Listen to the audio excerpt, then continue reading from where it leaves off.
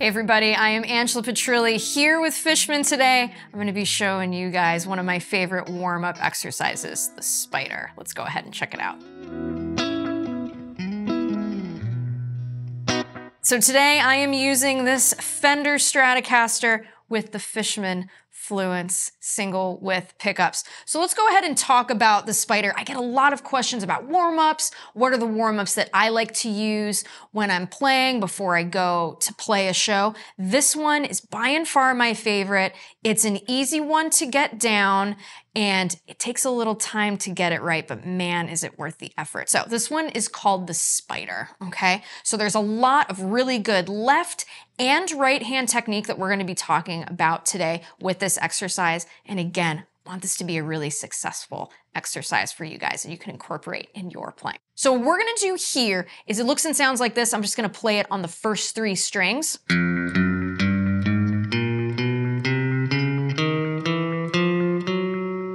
right, so as you notice here, we're going up in half step increments on each string. We're gonna assign each finger a fret, all right? And we're gonna start at the first fret here. So with our left hand, first finger, we're gonna place that on the first string on the first fret. So let low E, your second finger, second fret, third finger, third fret, fourth finger, fourth fret, okay?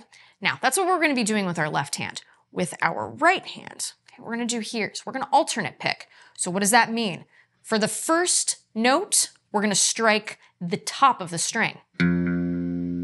For the second note, we're gonna strike the bottom of the string. Notice how the pick is at the bottom of the string, strike up. We're gonna continue with this. Once we go to the third fret, we're gonna continue with that pattern. Top of the string, fourth fret, bottom of the string. All right, so let's just work on that E string here, nice and slowly.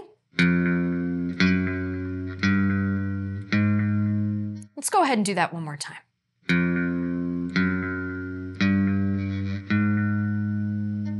So, with this, I also want you to keep in mind thumb placement. Notice how you can't see my thumb when I'm doing this exercise. Thumb placement is very important here. Those of you what I want you to do, thumb in the middle of the neck. If our thumb is up too high, notice how our hand starts to get smaller, right? So by placing that thumb in the middle of the neck, it's gonna allow the hand to really expand and stretch and hit those strings the way we want to. Now, something else to keep in mind here when you're doing this, we don't wanna go right on top of the fret. It's gonna sound like it's, it's, it's gonna buzz. We don't want that. See how it sounds thuddy, it's not clean. So we wanna get as close to the frets as we can without touching them. Notice how much cleaner that was, okay? So this is a really important thing. Those two things, keep those in mind. Thumb placement and making sure those fingertips get as close to the frets as we can without touching it. Now, with the fingers themselves, we don't wanna be flailing, right? We don't want to be going all over the place. Do your best, okay? And this is the part that's going to take a little time here. Do your best to hover on top of those strings, okay? So this is something we don't want to do. This is what I mean by flailing. That we don't want to do. We want to hover with those fingers here, because again, if we're flailing, it's going to take us that much longer to get the note. That we don't want. By hovering on top of those strings, we're going to get those notes a lot quicker than if we flailed, okay? So again, watch how my hands nice and expanded here, thumb in the middle of the neck.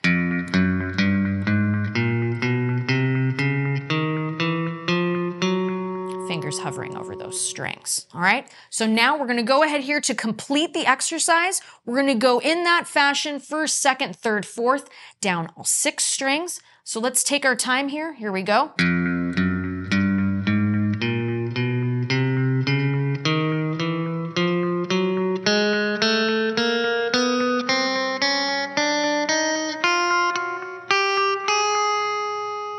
With this, absolutely want you to practice with the metronome. So you're gonna wanna go to each click. So if we're clicking, click, click, click, click, we want those hits on that click. So click, click, click, click, click, click, click, click. Wanna be right on that metronome. So this is an exercise really encourage you to practice with the metronome. Because again, not only are we working on our left and right hand technique with that alternate picking, right? Working on the stretches here with the left. We also want to work on our timing and our groove with that metronome. Okay, so something really, really important I want you guys to do. Once we do this forwards, we're gonna go backwards. So from there, starting with the pinky, we're gonna go four, three, two, one. All right, so let's do that again. Working our way up, let's just go until the G string here. So follow along.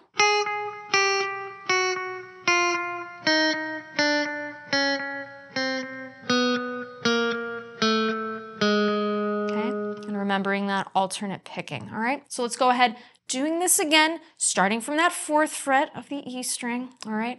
And working our way up. Don't forget the alternate picking. Don't forget thumb, the middle of the neck there, all right? Here we go.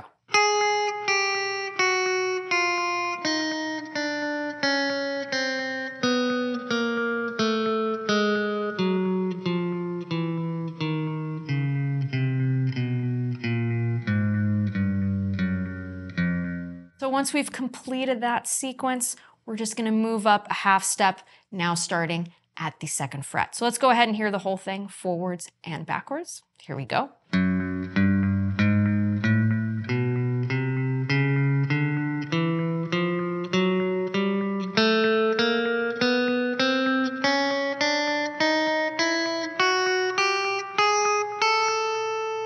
Now let's go ahead and go backwards.